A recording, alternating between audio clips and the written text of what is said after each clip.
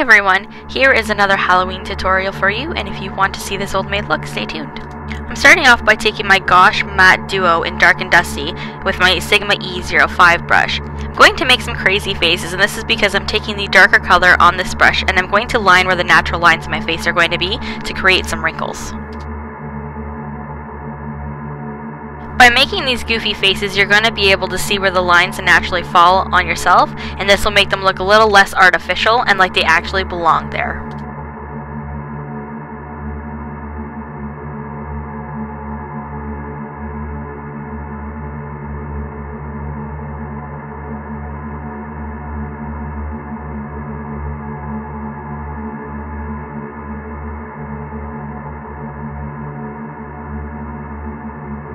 We're going to line underneath the lip and this will help drag your lip down and make it look like it's sagging.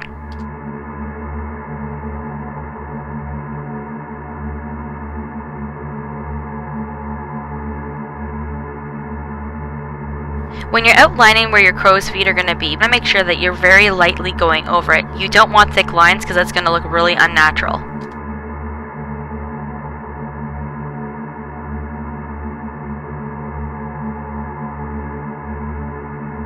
I wanted to give the illusion that I had saggy eyelids, and I did so by taking that color and just dragging it underneath my eyebrows, connecting the front of my eyebrow with the back of my eyebrow.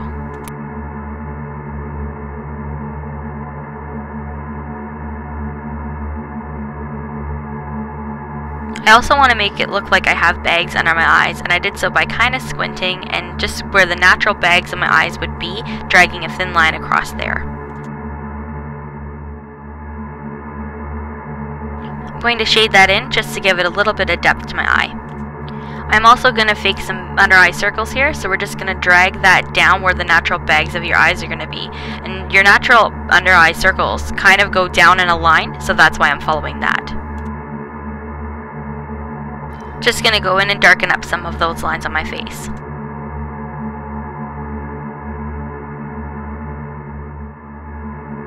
I'm now going to try and age my face a little further and I'm going to do so by dragging out some lines under my chin to make it look like that's sagging as well.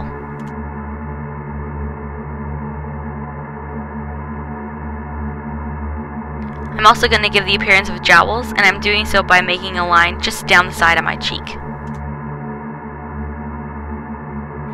Any freeze frame of this video is going to be god awful.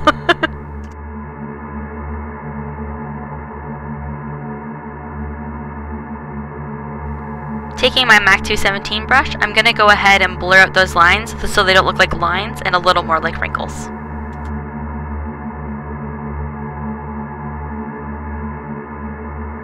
I'm now going to go ahead and cover my face with some foundation, and I'm just using my NARS Sheer Glow and my Beauty Blender. You can use any foundation, it doesn't matter what one you use, just as long as it matches your face. You want to make sure you put this foundation everywhere, including over top of the lines. It doesn't matter if you can't see them, they were just kind of a map of where we're going to put our wrinkles anyways, so we can always go back in and fine tune that. We're going to take the same Gosh Duo from before and my E05 from Sigma, and we're going to go back in with the lighter shade this time and just kind of darken up those lines further.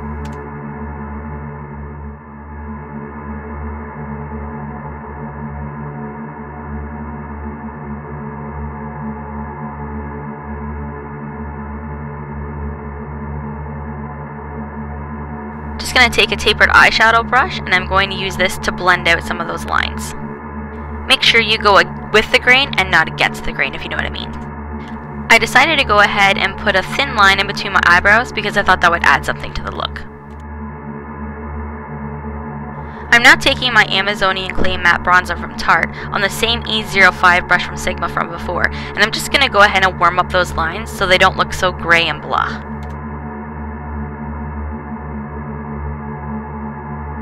I'm now taking the same brush from before and I'm just going to go ahead and blend all of those lines out. Now I'm going to take my NYX Jumbo Eye Pencil in the color Milk, and I'm just going to make lines in between the wrinkles, on top of the wrinkles, underneath the wrinkles, and this is just going to make the wrinkles look like they're sinking into my skin, and make it look like there's highlighted parts that are sticking up higher. This way it'll really add some depth and dimension to the face and make it look like it is actually aged.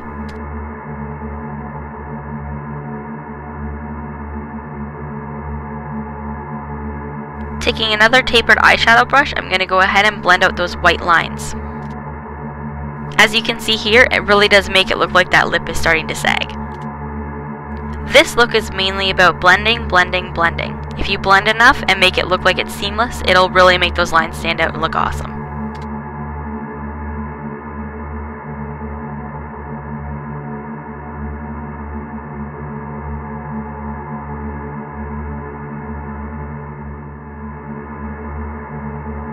Now going back over the darker lines just to blend them a little bit further to make them look like they really melt into the white part and it doesn't look like different lines.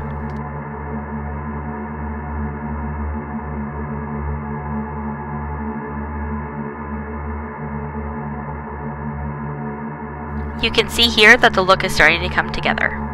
Taking the lighter shade in the Gosh Duo and my MAC 217 brush, I'm just going to suck in my cheeks and drag that color down in there and really make myself look gaunt and sick.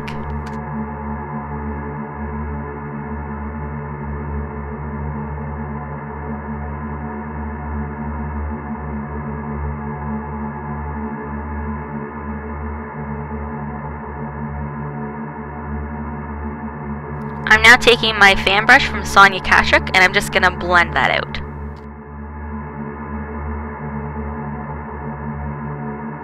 I'm taking the same Tarte bronzer from before and a MAC 217 brush and I'm just going to warm up where I put the contouring just to make it look a little more natural and not so weird.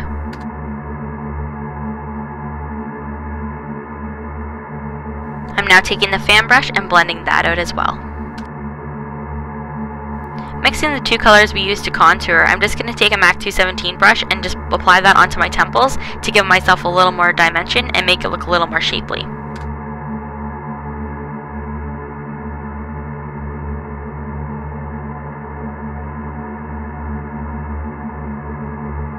Now I'm taking my Flare palette from Sigma and the color Gossip, using my creased shadow brush from Crown that I received in my Ipsy bag, I'm going to place this color all over my eyelids, underneath my eyes, and into the under eye circles, just to make it look like I'm really worn out, tired, and not healthy.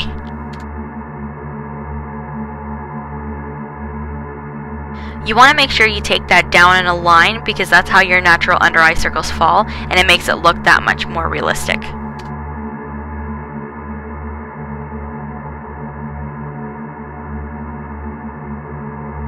Now I'm going to use my Dare palette from Sigma and the color Chase, and I'm just going to use the brush that came with this palette, and I'm just going to lighten up the purple with this pinky color because purple isn't normally that deep underneath your eyes, so I'm just going to make it look a little more natural.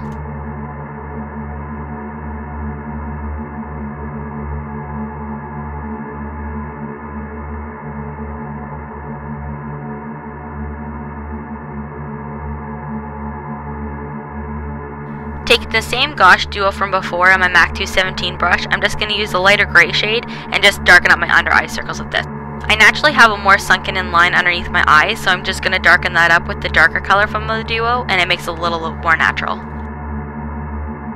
I'm also going to put the lighter gray color from the Gosh Duo all over my eyelids.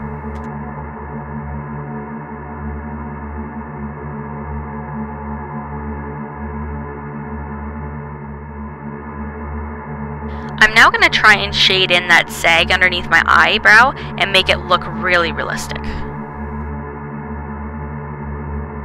I'm now taking my L'Oreal Super Liner Eyebrow Pencil in the shade Brunette. I'm just going to use the brush on the end of this to actually brush out my eyebrows. With this look, I thought really big bushy eyebrows would really suit it, so I decided to overdraw my eyebrows just a little bit and really accentuate the arch.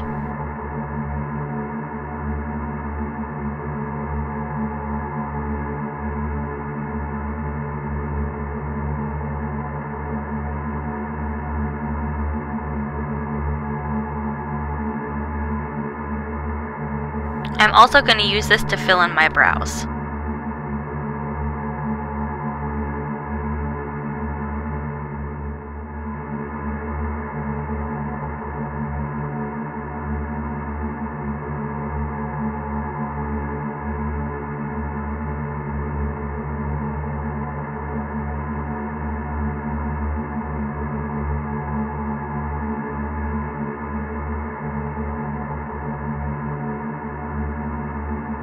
I'm now going to take an eyeliner brush and just kind of blur out those lines and blend them so they don't look so harsh.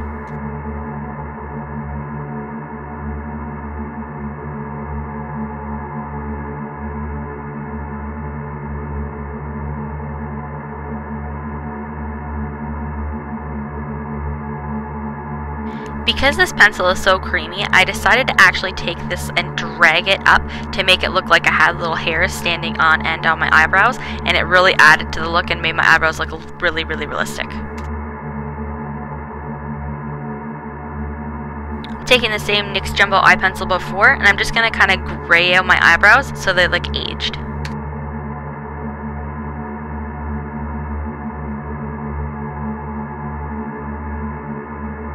I'm also going to use this pencil to draw lines in my hair and give myself these grayish white streaks. I thought this was a great alternative because I didn't have any spray to use in my hair and I thought with the brown hair I didn't look like I was really that old. So this looked really really great and it turned out to be awesome. I also only decided to do the front of my hairline because I just put a cloak over top of it so there was no point doing a bunch of work you weren't going to see anyway.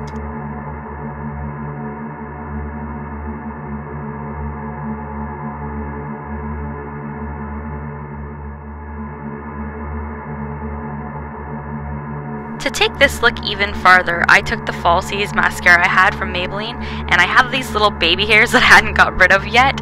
Um, they'd overgrown a little bit, and I decided to just kind of put some mascara over those to give myself the illusion of a mustache. Here's a close-up. And here is the finished look of the Old Maid.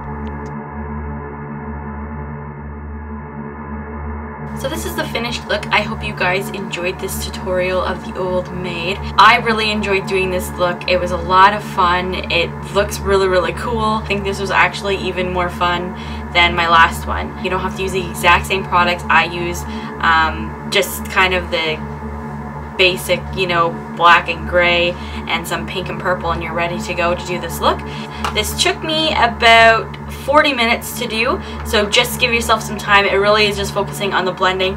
It's super easy to take off though. I did the practice run last night of it. I just could use a whole, like just one makeup wipe and it took the whole thing off my face practically. So this is going to be a good look if you're planning on going out to a party and you know, when you come home late, you don't feel like having to peel off all the latex and stuff. This is a lot easier.